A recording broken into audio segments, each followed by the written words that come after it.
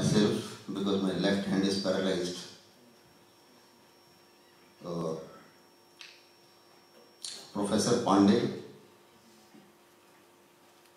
the faculty of ITS group of institutes who are grooming the nation builders of tomorrow, and most importantly, the students who are the real nation builders of tomorrow. It always gives us a pride and privilege to speak to you. It rejuvenates us because when we speak to you, we see you, it gives us a confidence that you all collectively will produce a better India than the kind of India which my generation gave to you. Have such an excellent uh, faculty.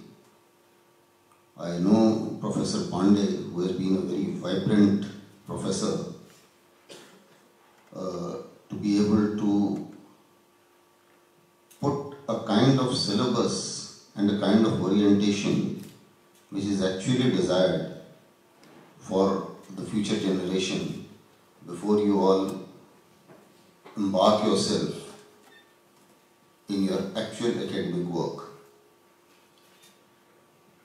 So I am really honored to be here, to be speaking to you. Now as we speak, there are a lot of challenges and there are a lot of concerns which bother your mind. And I will try and decode some of them as to what bothers your mind. You are there for MCA course. Certainly, you all are looking towards your future. Many of you also feel that because of this COVID problem, because of the pandemic, the jobs are shrinking, the economics are shrinking, the number of engineers being produced is far too much. What is going to be our future? Now, let me tell you a few things uh, which may perhaps help you in understanding as to what is in store for you. Firstly, the problem of COVID is a common problem and the degree of difficulty is a common degree of difficulty for everyone. So what you are suffering, that every single engineer or would-be engineer in the world is suffering. So therefore, if you compare yourself in comparative terms, you are not losing anything. Secondly, when it comes to the competition, the competition still remains the same. The bar is not being raised for you. So therefore, if you work hard, you your chances are exactly the same. Thirdly, COVID has taught a lot of things to the entire world. The lifestyle has changed and everything is becoming digital, which is a huge opportunity. It is a digital explosion. Earlier there used to be an industrialist revolution. Today it's a digital revolution. Can you believe that in India, the digital transactions in last one and a half years have increased by 500 times, which is more than anywhere in the world. The kind of digital encroachment or digital, shall I say, uh, usage in India, it has increased exponentially. And with the kind of things which are happening in the border, we all know that the COVID started from China and the whole world was hostage to the supply chain of China and the technological supply chain of China. So when the whole world realized that this is not a right thing to do, a decoupling has started. Now with this decoupling, there is a fair amount of decoupling which has taken place in IT sector. Now in this decoupling, the maximum benefit has come to India. In last one, one and a half years, if uh, someone happens to have watched WION News two days back, they have given the figures as to how much was the loss in China as far as the IT sector is concerned and how much was the gain in India as far as IT sector is concerned. Although we do not have the best of uh, business climate and therefore on the business side uh, maybe Vietnam and some other countries like uh, Thailand and Mexico, they have gained a lot. And we are yet to improve our business climate to a great extent. But on the IT side, India has gained a lot. So therefore, there is a very fair amount of, I would say, opportunities which are coming your way.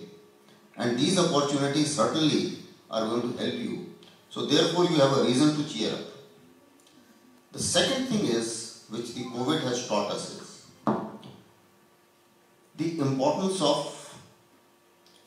various, uh, shall we say, social relationships, because you were there at home, the importance of people whose importance you did not understand ever, like Safai Wala, like the medical guy, like uh, people who do the home Uh, services in your house. The compassion of being with the family. Now these are certain social awareness which came up during this COVID period. So COVID has certainly helped us in the manner which is directly related to the future jobs which you are looking at. There is a study which says that I think a uh, couple of million jobs are going to come up. And most of the countries and most of the IT companies are looking for a hub in Noida and in these areas. So you have a bright future and you have a lot of opportunities. The question is how you make best use of it. And just to quote a very small example, you are doing, you are looking for MCA. My daughter-in-law did MCA. Before COVID, she was working with HCL. During COVID, she worked hard, cleared all nine interviews, got selected in Amazon, and her salary doubled. After that, again, next year, the second phase of COVID, Again she worked hard, cleared all the interviews of Google. Today, Google is paying her more than a crore in India. Now, all this has happened during COVID period. And she had no other qualification than the MCA which you people have, which you, which you people will be having after you finish the course. This is the level of scope of what you can do provided you put your heart and mind at the right place. Now, on that, I will now uh, change the subject to how do you put your heart and mind in the right place. Firstly, we need to be proud of our country. And when we, I say we need to be proud of our country, we need to be proud of our country the way it exists today. India is certainly uh, a country where we have the highest number of technically qualified English speaking young population in the world. And therefore, if we skill ourselves rightfully, there is uh, an economic revolution which you all can bring from the technological side. We are also one of the fastest growing economy post-COVID recovery. Because post-COVID recovery, initially China thought that uh, they are the guys who are the only ones who are benefited because the rest everybody is crying because of COVID. But now what has happened is very recently, the recent trends of last couple of months have shown that now our economy is booming and China is slowing down tremendously. The brain power of India, that it, it is uh, nobody can match this brain power. Let me tell you, uh, I happened to visit uh, the United Nations. I was posted in uh, logistic base, United Nations logistic base, which is in Brindisi. It has got a communication hub from where they monitor the entire communication of the entire world. When I went inside, uh, the first person asked me, Saab chai piyoge? And then I realized that everybody there was an Indian. So if they can be there, if in United States bulk of the doctors are Indians, if in NASA bulk of the scientists are Indians, if in UK out of the 10 guys who are the richest guys, 4 guys are Indians, if in USA the per capita income of Indians who are settled in USA is more than the per capita income of the USA put together, that is um, of the Americans. Uh, and and uh, it's a significant number, it's a significant jump. I mean, it's almost about twice our per capita income of the Indians in USA. And in USA, if the Americans are scared that the job will be taken away by the Indians, obviously we have the brain and that brain is being utilized. Similarly, when we see our brain, brain power, all what Professor mentioned, whether it is IT or it is IoT of things or it is uh, artificial intelligence or it is com- cloud computing and things like that, you will find that most places Indian brain has been used to develop this. And I can say you with confidence because uh, I gave the example of my my own home, that is my daughter-in-law, I just gave the example. She worked for one year in Chengdu and she worked for one year in USA. Now, both these guys, both these countries, they made the best of uh, what she has because she is a brain on AI. So, basically, the brain being picked up is of India. And therefore, it is incumbent on us to create that enabling environment so that we can utilize that brain here. And that is where I say, I call upon the faculty that rightfully this is the step in the right direction, the way uh, the professor is managing and the way the faculty is managing, that if we know that yes, it can be done in India, and all this is being done in India. Most of the Indian companies are doing it. Bulk of the outsourcing is Indian. Most of the companies uh, in America, they keep the critical technology with them, but bulk of the technology is being utilized in India. And in the critical technology, people who go in, to USA, uh, they are the guys who get utilized. So therefore, you have a bright future, and a lot uh, is required uh, which can be done and which must be done. Then let's talk of the passion of India. India is a strong country. And why we should feel proud of it is uh, we as Indians, we have been very conscious of our sovereignty. And independent India was never part of any bloc. Even today, we have good relations with America and we also have a good relations with Russia. And we don't compromise a relation of A for B and B for A.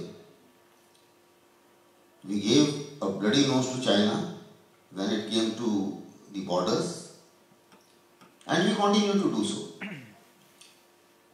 Irrespective of what kind of propaganda and uh, the media campaigning which China does, uh, the Indian defense forces have stood.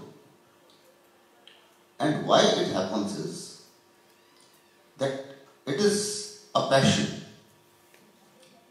It's a professional force. And why I'm talking about this force and why I'm talking about these examples is because I want to quote certain examples to you as to what passion means. Because at the end of the day, you have to be passionate about your job. And it is not that you can contribute to the country only through defense forces. You can have your own dreams and you can contribute in whichever field you are, and the contribution is equally important. Today, in the world, we talk about comprehensive national power. The country needs comprehensive national power, which includes the technological power.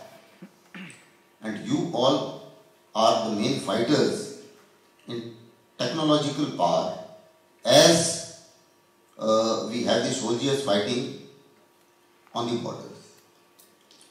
Now let me quote some examples of passion.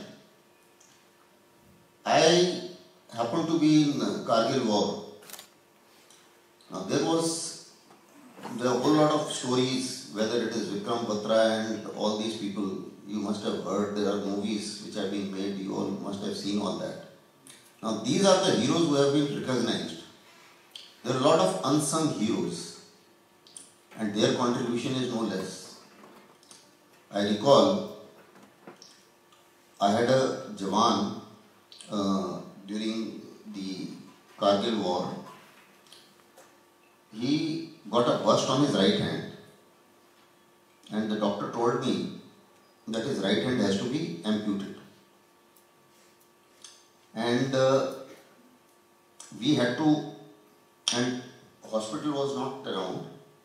He could have been taken to the hospital only on the next day. So with whatever little instruments he had, he had to cut his right hand. And he needed my permission because I was the commanding officer. I said, if there is no choice, then obviously do it. Now next day, when we had taken him to the hospital, and before he was to gain consciousness, I said I want to be in front of him because I have given the instructions that okay, his right hand can be amputed. So when this guy got his consciousness, so I spoke to him कि, बेटे, आपको गोली बहुत लग गया था। हम आपका जान को बचा सका है, लेकिन आपका हाथ नहीं बचा सका। So obviously that guy initially he would have been shaken up certainly so he started crying and he embarrassed me uh, now, once he embarrassed me, after two minutes I just asked him, when he became normal, that do you have anybody from your village in the unit? Because I will call for him. So he says, fine. Uh, he gave me a name and I went and I started calling for him. The first sentence initially, when he got over first sentence which came out from his mouth was कि साहब कुछ और पाकिस्तानी मारने के बाद हाथ काटने से अच्छा होना था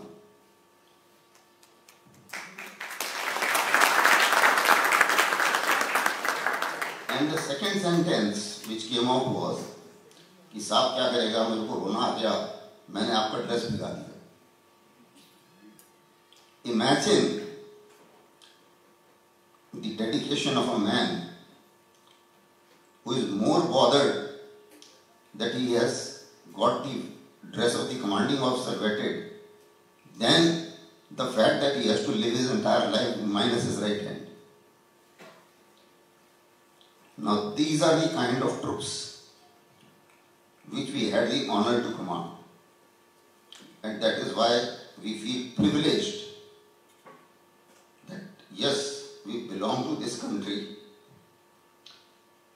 we belong to this army, and there is nothing which can match this kind of treatment which we got in life. or this kind of respect which we got in life. Another example of a guy like you. We had a second lieutenant called as Rajiv Sandhu. Mahavir Chakra. Very small example I'd like to give you because that's where the leadership comes in and the passion for the country and for the men. We were fighting in Sri Lanka. Now, this man, the convoy got ambushed, the terrorists fired a rocket launcher, and everything below his waist was taken away by the rocket launcher. So he was he only had the top portion of his body alive and two hands. And with those two hands, he picked up the weapon and he killed all the militants. And rest everything was bleeding. Now, and once he killed all the militants, he got unconscious. Before he died, he just got consciousness for about 20 odd seconds. And the only sentence which came out from his mouth was, How is my driver?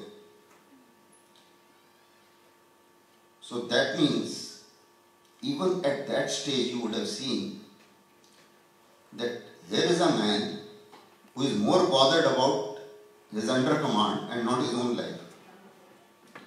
And every day you see, whenever the we have a casualty and you find an officer getting killed, in most of the armies in the world, it is the officers' casualties are very less. But in India, the officers lead from the front. And that is why you find a lot of officer casualties.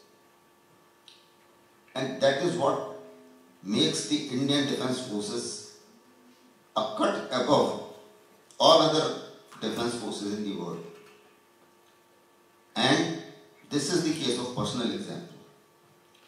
So these are some of the examples which I tried to give you only to tell you as to what the passion means, what the nation means. You cannot be a bright boy in a bad nation. You have to carry the nation along. You are the nation. So you are the ones who are going to take the nation ahead. And what I spoke was of one field. You have similar examples in different fields. Now let me come to your field. Firstly, you must have your dreams.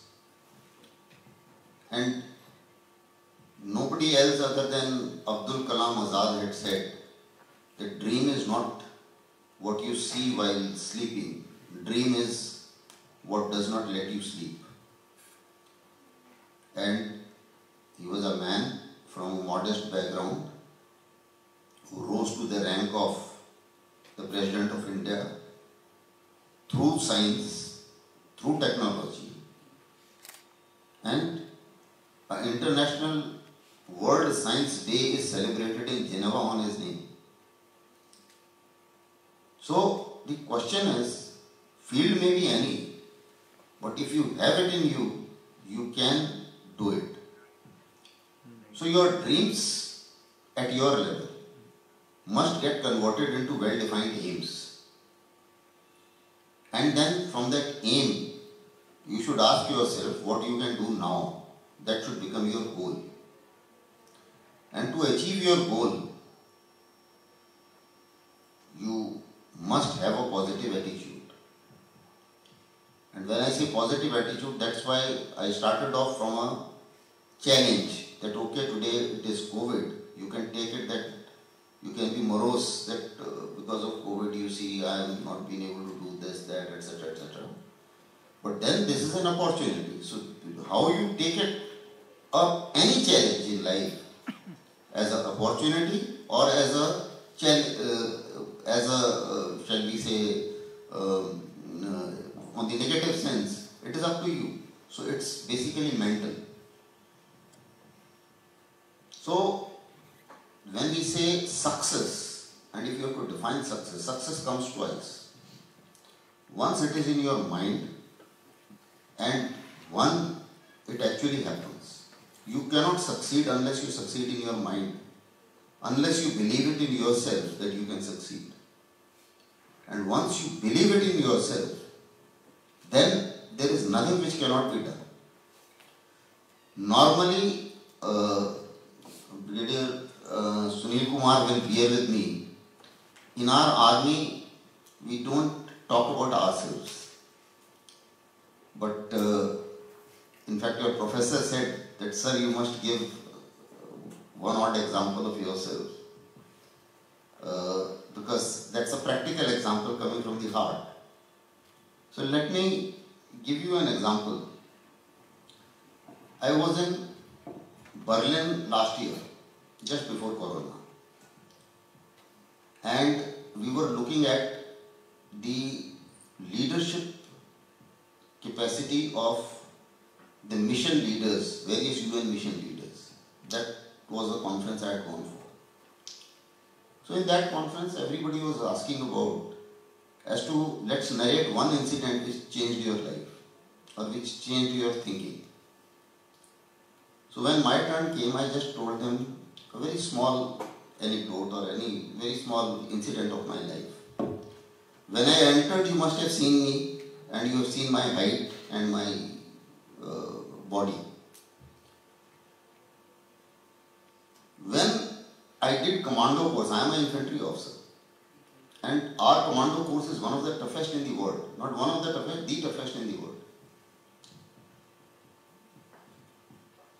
That time my own weight was 46 kg. I was expected to carry 28 kgs on my back, run 40 kilometers in 5 hours 20 minutes after 2 days of hunger.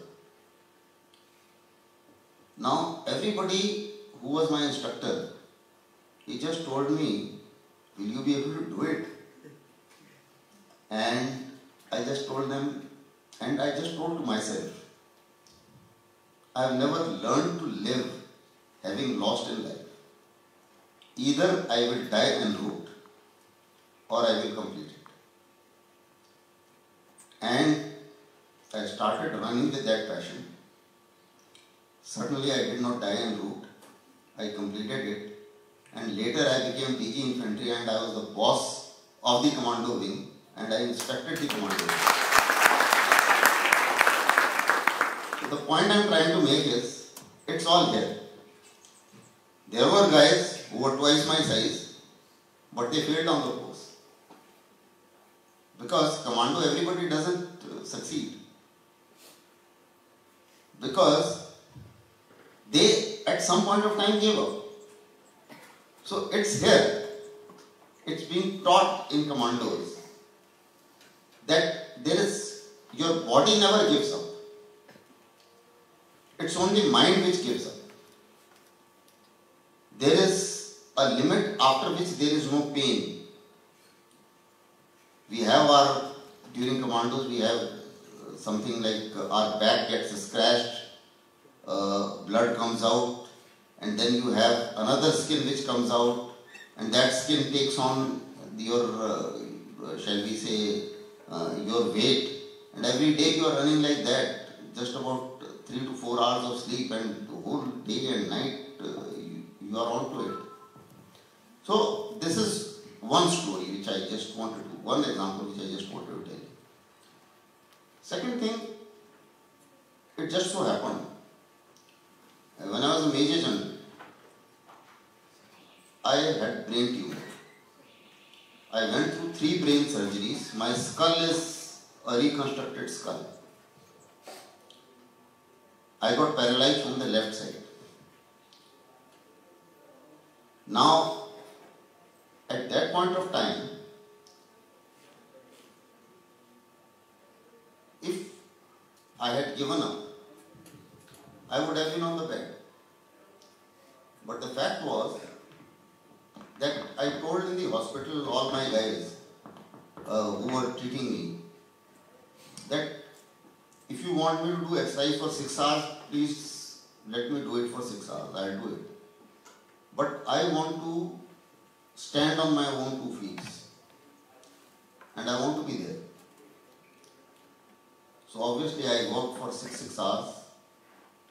And in two months of leave, I was in a position to stand. And this great army, nobody ever asked me that do you need a software appointment because DG infantry you see infantry is one third of the army and infantry is the one which is fighting all over in all the borders. So as DG infantry do you need a software appointment? Nobody ever asked me. The chief, vice chief, everybody had that confidence that this man, even if he comes for four or five hours, he will ensure that the infantry is, is on the ball, number one. And number two, normally we all feel, we all are so materialistic minded that Abhi to now that I have become a category, I have uh, I cannot be promoted because I am a paralyzed man. So what interest should I take or will I take? But everybody in the army had that much of confidence that my interest level for the nation and for the army is will exactly remain the same. Before I was to climb up the ladder and after I was no more on the race. So the point I am trying to make is that passion for the country and passion for your job and passion for your profession is something which you have to generate. Today you are a student, obviously you have to have a passion for your work.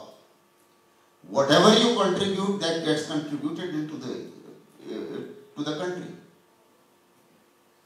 So till the time you are alive, even today, um, I have retired. I think five six years. I, I left. In fact, uh, after uh, uh, when, after I have left, every day I am either speaking somewhere or you will find me somewhere speaking. Sometimes speaking on televisions. But every day I am speaking for the country. Anywhere in the world. If I have to write, then I write. I am there to project for my country. So this is, uh, normally I don't speak about myself. But uh, Professor Saab had specially requested me that no sir, you must speak sometimes. Because otherwise, uh, you don't get the conviction. Because you can at least see the man sitting in front of you and you can see at least as to what, what, he, what he, he is trying to say. Okay, now I come to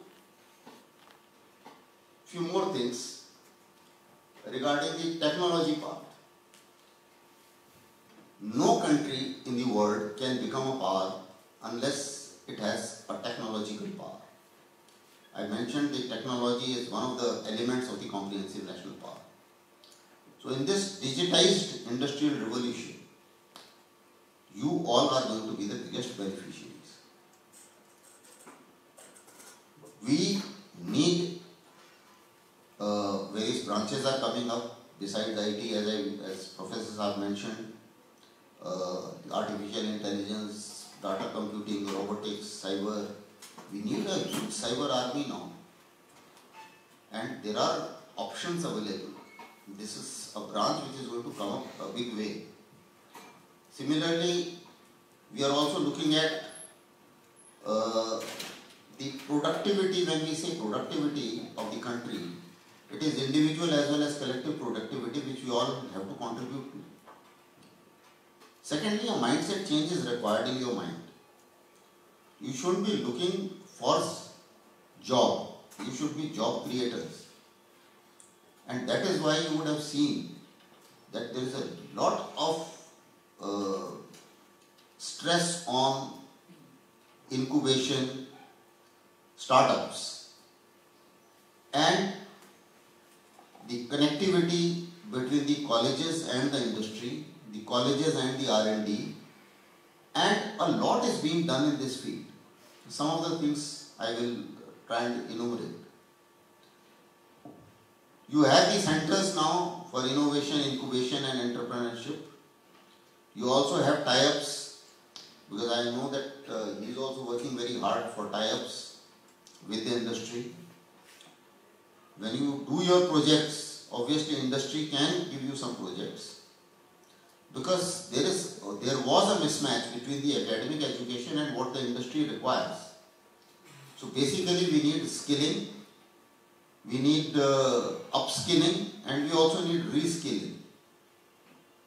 And for all the three, what is important is the fo- focus is on you.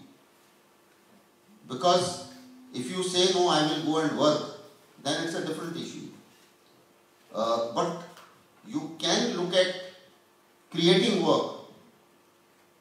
If when we talk of upskilling, even in rural areas, whatever knowledge you gain, you can you can be a, a motivator as well as an incubator for skilling of the rural areas uh, to be able to be absorbed in the industry.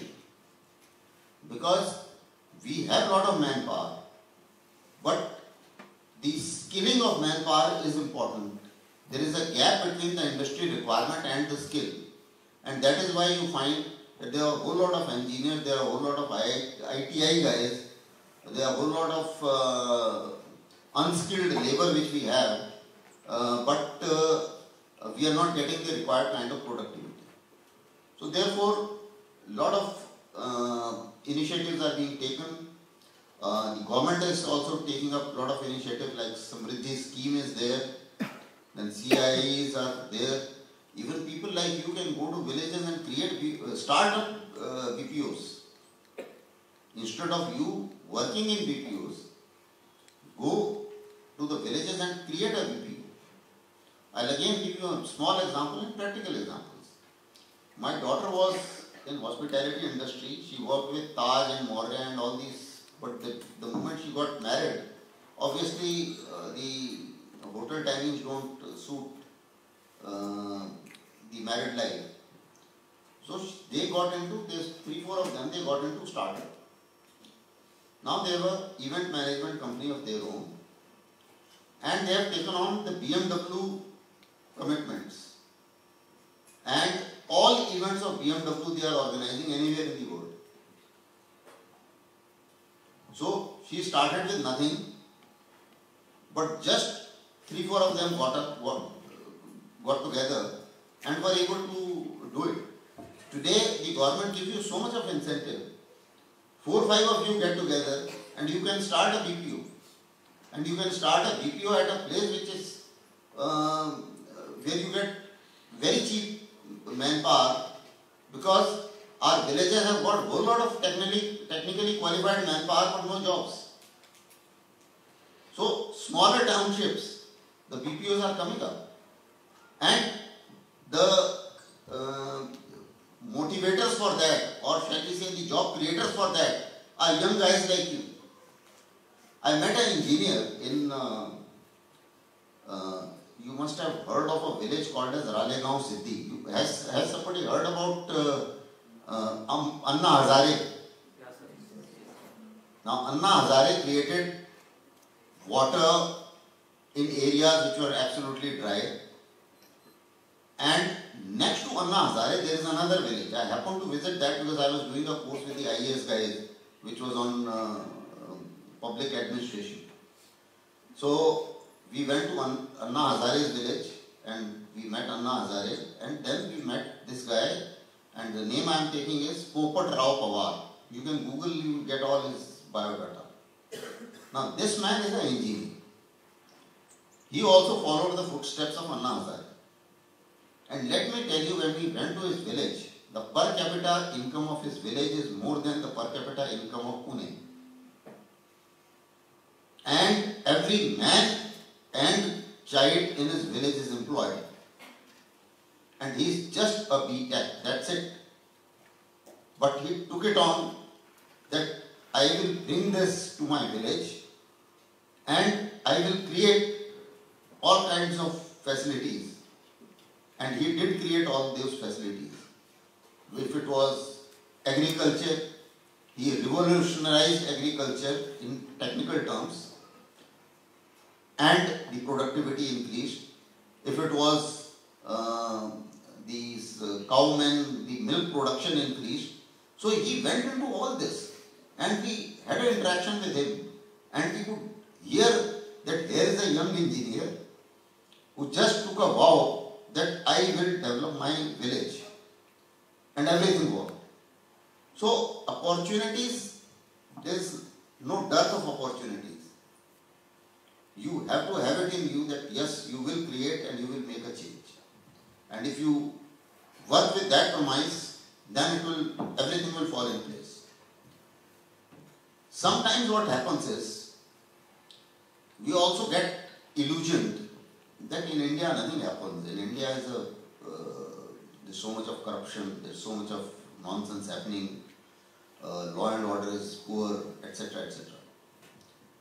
But let me tell you two few uh, few more points on this. See, it's very very difficult to govern India. We have the second largest population. We have all the variations, caste, creed, religion, name a thing and it is there. We are a democracy as well. And the distribution of wealth in India is absolutely skewed. Only 5 to 10 percent people they own 80 to 90 percent of wealth. So what happens is rest of the 80 90 percent guys have to scrounge for that 10 percent. And if you are doing that, then obviously there will be crime, there will be, uh, uh, shall we say, uh, corruption as well. But then let me also tell you in the same breath that today the crime rate in India is lesser than USA. I've seen all over the world, I've been to most of the countries which matter. In China, half the things are hidden. And the corruption is tremendous. The, except the CCP parties, CCP party members, they are the guys and some of the industrialists. They are the guys who are the rich guys. They've got some towns, even in, uh, when we were in Beijing, there are instructions to rickshawalas that you will not show your face to a foreign tourist. It's as simple as that. But we managed to see one. So when we went there, he says, Saab, मेरे को यहाँ पे, I, I am, I mean, in whatever language he tried to explain us, I can't be next to the uh, main teaching but then me and my wife were hell-bent and we sat in his rickshaw and we got ourselves photographed to prove to this point that there is no difference between people can keep saying what they want but then the fact is that this is what the reality is. I have recently I have been to New York. You will find guys sitting next to the Times Square He's just, he's got a sleeping bag. He's just sleeping next to the uh, shop and he has put a board there. I have no money for food. Please give me some dollars for food. So what you were not seeing, what you thought, uh, the image which you thought is of United States is not the same. Let me also tell you that there is no Ramraj in this world. Every country has got its own problems. The gun prodding in America is, is, is mind-boggling. Everybody can carry automatic and everybody, people can keep shooting each other. The history of rapes is more in the UK and US. In fact, in UK there was a very, very serious concerns of teenage, uh, teenage pregnancies. So the point I'm trying to make is, India is not as bad as it appears to be. Can you believe it? You would have seen all that Hindu-Muslim jhagda every time happening and on television. दलित का वो हो गया वो मुस्लिम वाले के साथ में ये कर दिया वो हिंदुत्व की कहानी चल रही है वगैरह वगैरह all that nonsense but the fact is have you ever seen one guy of any community Hindu Muslim Sikh ईसाई whoever he is leaving India because he has been persecuted in India. None. The Muslims are safest in India, including the Islamic countries. In Islamic countries, they do not have the option. The women do not have the option to do so many things which they can do in India. In Islamic countries, the Muslims don't have the option to criticize their uh, leader and get away with it. In India, you can do it. You criticize it, you still get away with it. So they people can keep saying, and in democracy, people should protest. People keep should criticize. It's it, it should disturb us because it's a safety valve, which if it comes out, your democracy remains stable. The fact that uh, for almost 70 years we have been we have seen the changes in government without a single man's uh, blood loss uh, indicates that we are a stable democracy. And it wouldn't have been possible if people were not protesting and people were not people didn't have the safety valve to air out their discontent. So these things don't shouldn't disturb you. These are normal things. There is no democratic country in the world where politicians do not put uh, their political stakes before the country. But then the fact is that there are enough uh, nationalists in the world or in, in, in our country who ensure that the country grows. It's a 20-80 ratio. If 20 people out of 100 are strict nationalists, the country will succeed and succeed tremendously. And that is how India is succeeding. So it's not the question of one ordinary politician corrupt. Don't get uh, carried away by that. When you find that there is something wrong, you set it right. You are India. That's why I keep saying, have confidence in yourself. Shine like sun, you have to burn yourself like sun. And as I mentioned, that uh, one more important thing which I must tell you is the time management. To succeed, you have to have your time management right. Because it's 24 uh, hour cycle which is common to all, to you as well as your competitors. How best you utilize the number of hours out of those 24 hours to your constructive gain, then that is what will dictate as to what is your outcome. I don't say you must enjoy, you must play sports, you must be healthy, you should speak a lot. A confidence of speaking is an essentiality in today's life. It's part of the personality. You must have healthy body. Why not? Because unless you have that, uh, you won't sustain the stress which is required to be sustained. So, have your habits, have your things right, and have your time management right. Because in time management, the only practical tip which I can give you is at no time you should not be doing anything. Either if you are enjoying, then you please enjoy. If you are studying, then you please study. if you are, uh, whatever is your passion, whatever you are doing, just do it. But the fact is, you shouldn't be uh, certainly doing nothing. So that is what I have. Uh, at the end of the day, I would pray to God, you must dream and dream big.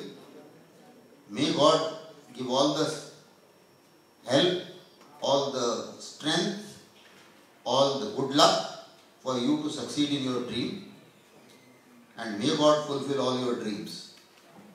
Have confidence in yourself, build up your personality, build up your uh, capacity, build up your capability, and sky is the limit.